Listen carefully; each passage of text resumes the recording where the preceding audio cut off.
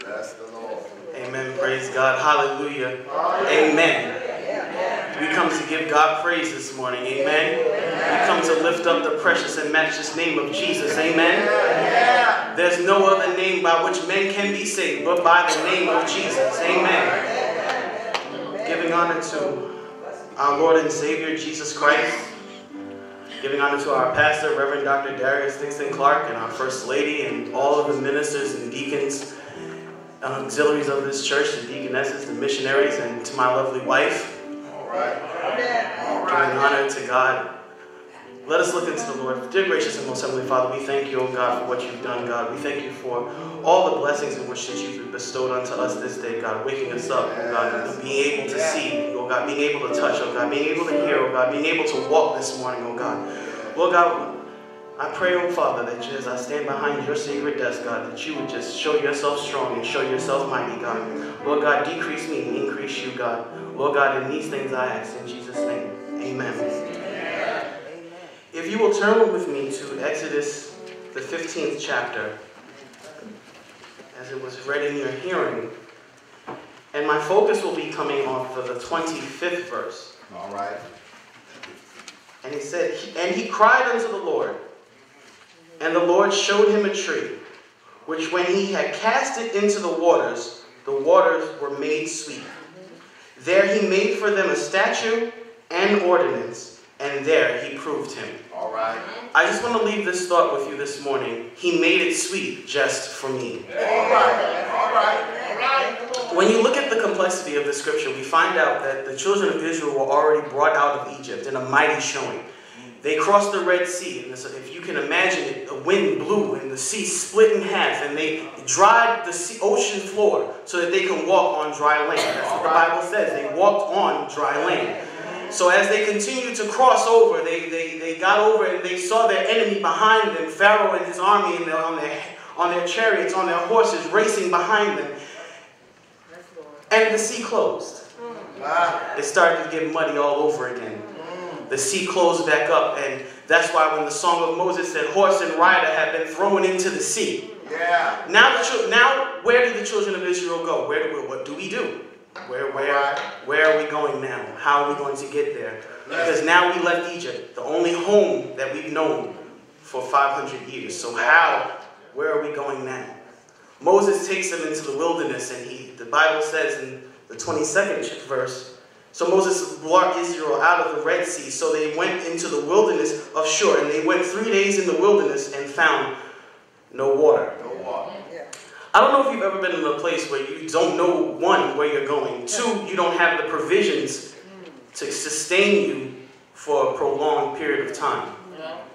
Have you ever gone without something for a prolonged period of time? You get to be you get to a point where you get aggravated. Well, You get stressed out. Some folks want to cuss. Some folks start fussing. Some folks start doing some things out of character. Especially if you don't give me a drink of water. Come on. I'm not going into the other side of drink, but I'm going into a drink of water. If you don't, if I go without water for a period of time, I get irritable All right. because that's something that my body needs to sustain life. Come on. Come on. That's all right. And when they came to a place called Mara, they found out that the waters was were not good to drink. It was bitter. It was stagnant. Was nasty tasting water. well, Have you ever had a bottle of water that sat out for a while, for t- two, three days, and then you go to drink it by mistake because you forgot that you put it there and you get it and you drink it, and the water tastes kind of funky? it's not clean. It don't taste right. It didn't taste like Poland Spring the first day you got it. All right. Now it tastes like sewage spring because it, it, it sat for too long. So the water is had, the water seemed like it had either sat for too long or the water wasn't fresh. It was not moving. But they came to a place called Mara that was also known as a bitter place. make it plain, elder. I would like to say this now, but that you can't go to a, a place that's called bitter and expect something good to come out of it. All right. There's something about when we go to a bitter place, when we get to be bitter, and, I, and that, that, that there's nothing good that comes out of being bitter. This lets us know that we always, we, we get to a point where we don't like everything that's going to happen, but sometimes life gives us a bitter pill to swallow.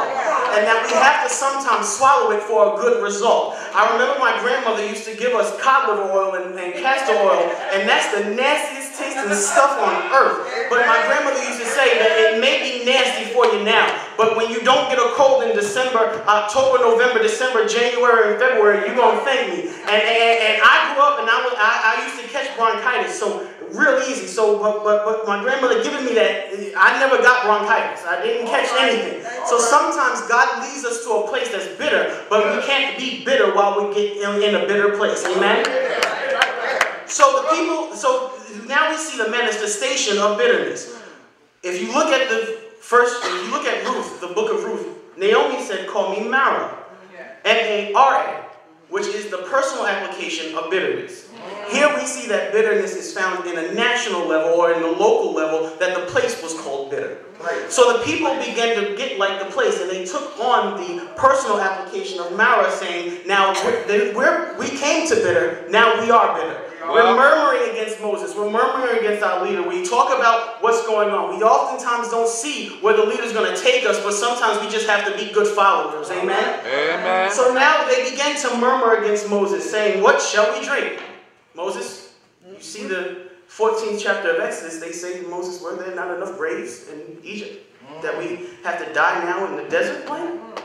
Were there not enough graves? Weren't we being sustained good enough in Egypt that, that, that, that, that we would be able to live and feast and eat? That's, what, that's the argument that they were bringing back up. So Moses said, before you get any further, before this argument gets any deeper, before this fire catches on and keeps on and, and grows even farther, yeah, yeah. Moses said, Moses said, all right, he cried unto the Lord. And the Lord showed him a tree, which when it was cast into the waters, the waters were made sweet. Yeah. I, I just came to tell you this morning that he already made it sweet for us. All right, all right.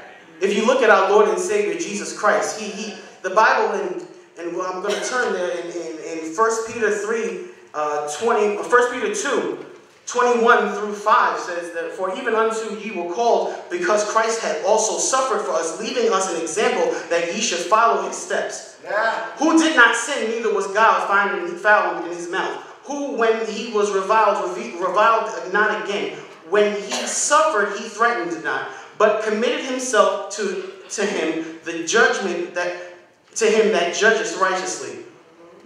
Who his own self bare our sins in our body on the tree, that we being dead in sins should live unto righteousness, by whose stripes we are healed. Yeah. For ye were sheep gone astray, but now returned unto the shepherd and bishop of our souls. Yeah. Jesus died on a tree on a mount called Calvary. Yes, he did. The tree was cast into the waters for us, where the waters were murky and deep. The songwriter said, I was sinking deep in sin, far from the peaceful shore, very deeply stayed within, sinking to rise no more. But the master of the sea heard my despairing cry, and from the waters he lifted me. Now safe am I. I, I came to tell you, the tree was cast into the waters on Calvary. When, when, when they put the bitter nails in his hands, the tree was cast into the sea. When, when they put the bitter nails into his feet, the, that, that was a part of the bitterness on the tree. When, then when they put the bitter, the bitter so, uh, uh, staff into his side, they, that, that, that, that, that was for us to get the joy of life. That, that water and blood came spilling out so that this way we can have the freshness, to drink of the crystal fountain of our Lord and Savior. Now is the day, now is the time that when he came there on that cross, huh, that, that, that, that, that now we're able to say that now the water is sweet for me to drink. huh, That now I, when I come to it, when I, pro- when I profess his name, when I stand up and say that Jesus is Lord and Savior of my life, that I'm able to drink of that everlasting fountain that reminds me what he said to the woman at the well. He said that, that I come to that, that I come with the water that you shall never thirst again. That now I'm never thirsty. Now I don't have to now I have the thirst quencher. Gatorade don't have nothing on my Savior. That I'm able to stand, I'm able to walk right, I'm able to talk right, all because he died on a tree on Calvary. So now I'm able to say that I serve a risen Savior, and he's in this world today. Hallelujah to God.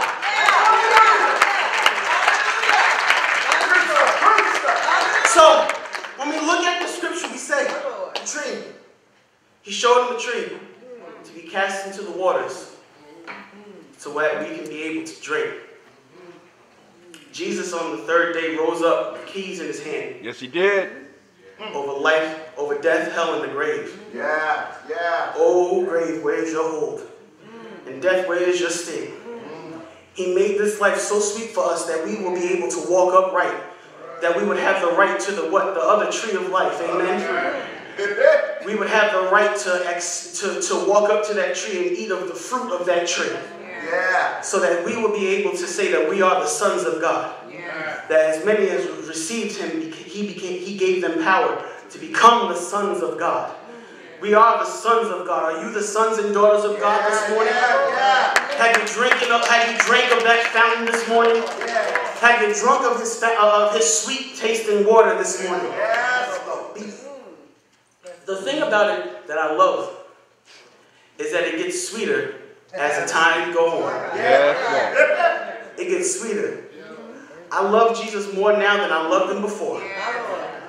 I love him because he, he every day I wake up, every day I get to see the smiling face of my wife. Every day I get up and I see the sunshine and I feel my I feel my legs and I had a little pain in my back yesterday. Thank you, Lord. But I'm grateful to God because now I'm able to stand up. Thank you. All right. I- he makes it sweeter as the days go on. That though, because what we were drinking before, that was real bitter. Mm. That stuff was that, that it was toxic. Mm. It was something that would take you out.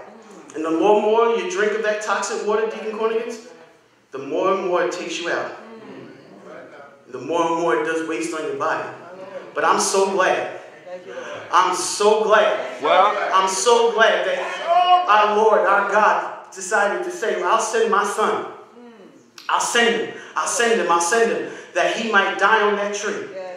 And that the tree might cast into the waters to make it sweet for us to drink. Right. That the tree might be cast into the waters to give us that joy, that peace uh, in the midst of sorrow. That tree would be cast into the waters to give us the peace of mind, the peace of God which surpasses all understanding. That, Yes. that, that, that, that, that tree would be able to be cast into the waters that we might be able to say that we, for God I live and for God I die. That the tree will be cast into the waters that I may be able, that, that for God I live, for God I die, for peace I have, the peace of all understanding, for joy the Lord is my strength, that I be able to say that I have a good inheritance, that, that, that all the things that God has for me is for me, that I'll be able to say that I am the head and not the tail, above only and not beneath, that I'll be able to say that God is with me, always by my side, in the front and back, up on top or underneath me, that He's always around me, that I may be able to say, because I drink of that water, Yes, Lord. Yes, I gave up the bitter water Oh, yeah. to take on the sweet water of Christ. I gave up the work, the world stuff. yes, oh, to take of that, to take, like he told the woman at, with the, at the well, the water that I won't have to ever thirst again. The water that fits all of my needs. Yes. Right now. The water that I don't, even if I don't eat, the water that fills my, quenches my thirst and fills my hunger. He is the living bread, yes, he is. and he is the everlasting spring. Yes, That's why when blood and water came gushing out of his side, it was to let us know that, that we were redeemed by the washing of the blood, but that he was the everlasting spring. And that he, that he, because every word that Jesus and that God puts through, that God puts through cannot return back unto him void. So what he told the woman at the well Yeah. had to come true. Water had to come out. Blood had to come out. Yeah. Water had to come out for our cleansing and for our, that we would be able to be washed clean. So I gave you one today And He made it sweet just for me. I don't take on the personal application of Mara any longer, but I take on the personal application of our Lord and Savior. That He did it just for me. Amen. He did it just for me. Amen. Amen. He did it just for me. Amen.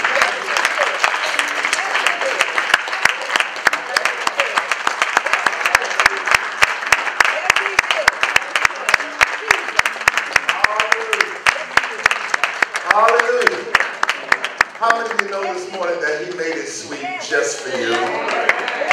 How many of you know that you found yourself in a bitter place in life, but the Lord made it sweet just for you? See, the truth of the matter is we've got to go through some bitter places in our lives that God may grow us and make us stronger. But I love the point. Don't let the bitter place make you bitter.